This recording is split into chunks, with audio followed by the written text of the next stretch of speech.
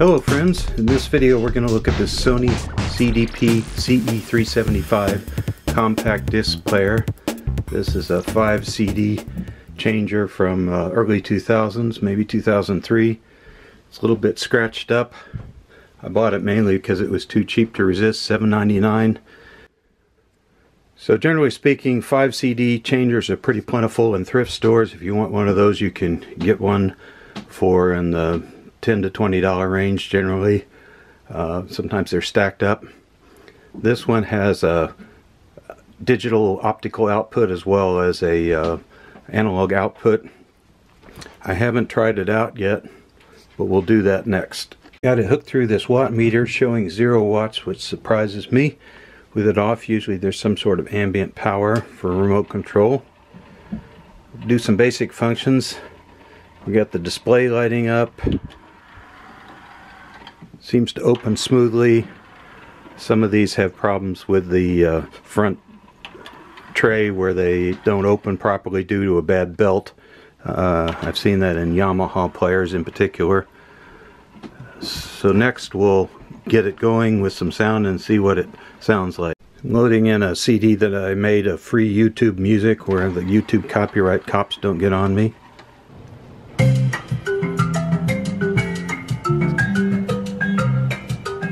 Seems to be working fine. Got a nice sounding stereo.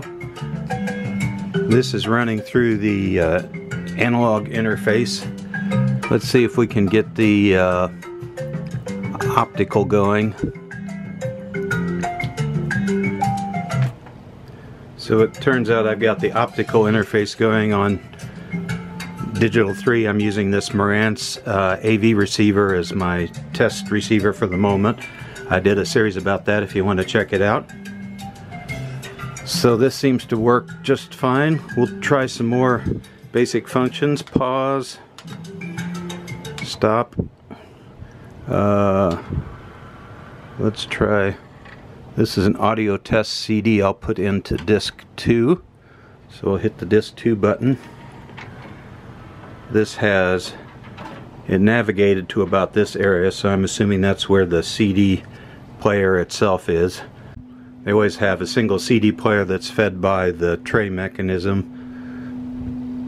So this isn't really exciting it's just a test tone. Uh, I found on other Sony players like this that this is the the track so we're going to get different frequencies as we go through that now that it's playing, it's drawing about 9 watts.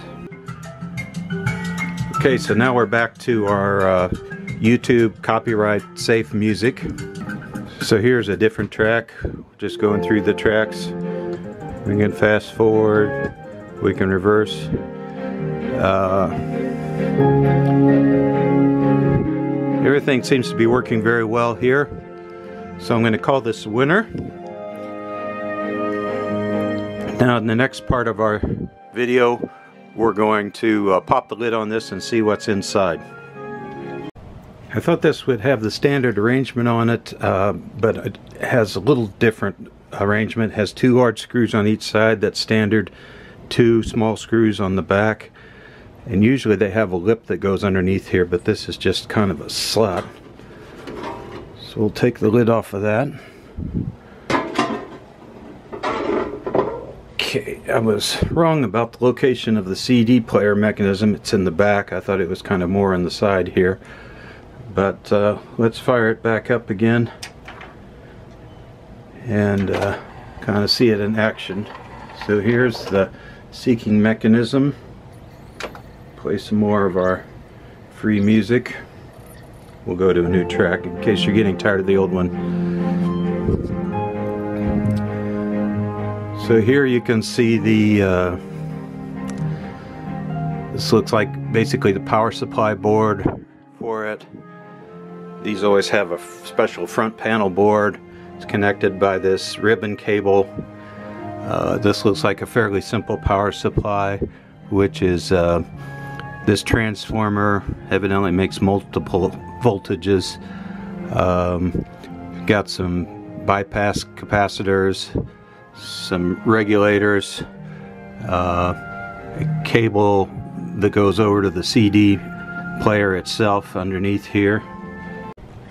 Now let's take a quick look at the tray in operation. So we're playing this disc right now, or at least spinning it. So this gives us a better view of the inside mechanism. You can see there's a lot of plastic parts and gears here. It's a little bit of metal as we get into the CD player itself. But compared to the Yamaha design, since this doesn't appear to have a belt, that's a real advantage because the belt won't stretch or wear out or whatever goes wrong with them. The gear teeth, uh, even though they're plastic, should last indefinitely um, because there isn't really any big wear item involved in that. Now another thing we see on this board is some of the analog I.O. that goes through here evidently uh, and the optical. So this is the optical. Here's the uh, stereo analog output. Here's power supply over to the main power switch which is on its own little board here. I would assume there's an analog to digital converter underneath this board maybe. Uh, a lot of times these are one-sided boards. Actually this looks like a one-sided board. So maybe the signals come across directly from the CD player through this ribbon cable and then maybe some sort of minimal conditioning here such as let's look under there I'm guessing that's a multi-op amp so uh, to boost or clean up the signal at that point some little basic conditioning components and then out we go to the back let's rotate this to uh, we're gonna pick disk 5 which is this empty slot Let's see if it'll do that. Then it decides there's nothing there, so it reverses. Just for fun, let's go to disc 3. Up, it's going to keep going. So I'm going to fool it and put something in disc 5 now. But then, which is our audio test tone CD. Let's see if we can Oh, we're already on disc 5, so I guess this is disc 4 that I just replaced.